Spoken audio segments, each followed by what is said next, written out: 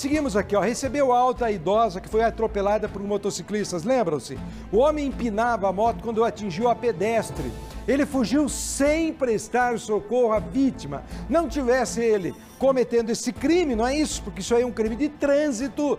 Não teria atingido essa senhora que estava na. Como é que chama ali? Na faixa de pedestre. Faixa de segurança, olha só. A idosa está em casa sob os cuidados da filha. A família preferiu não gravar entrevista por enquanto.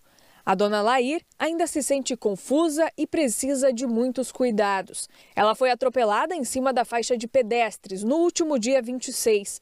A idosa de 78 anos quebrou a perna, bateu a cabeça e precisou ficar internada na UTI. O atropelamento ganhou repercussão nacional. A imagem mostra o jovem empinando a moto antes de atingir a idosa. Ele fez isso segundos depois de cruzar com uma viatura da Guarda Municipal e fugiu sem prestar socorro.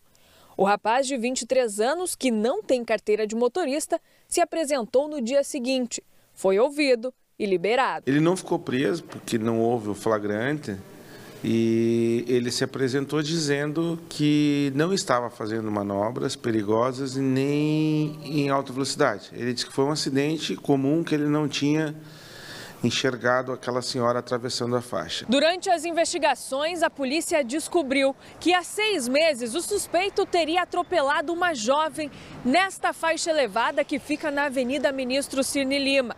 Naquele dia, ele também fugiu do local. A jovem teve traumatismo craniano grave e fratura na perna.